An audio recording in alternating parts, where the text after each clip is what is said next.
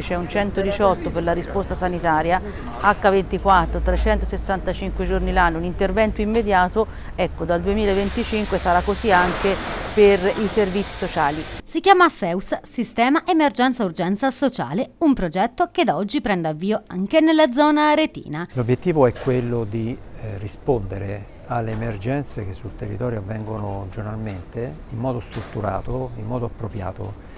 integrando tutti i servizi che possono essere interessati a seconda delle situazioni che eh, quotidianamente si possono incontrare sul territorio.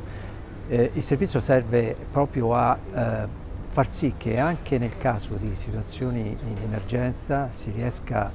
eh, tutti insieme, tutti i servizi, quindi ospedale territorio, ma non solo, eh, anche i servizi eh, comunali a rispondere in maniera corretta. Il SEUS è un pronto intervento sociale regionale, uno strumento di secondo livello per rispondere alle situazioni di emergenza sociale, personale o familiare, ma anche a situazioni di violenza ed abuso nel percorso di rete codice rosa, abbandono, non autosufficienza e anche condizioni di povertà. Inizia quindi con oggi per sei mesi un periodo di eh, formazione e di sperimentazione per verificare che eh, le situazioni di emergenza-urgenza abbiano eh, il corretto eh, procedimento, il, il, corretto rapporto anche con la centrale operativa SEUS che opera a livello regionale e che è quella che poi attiva la risposta nell'emergenza-urgenza 365 giorni l'anno per 24 ore al giorno, quindi eh, una centrale che è sempre aperta e che è sempre operativa.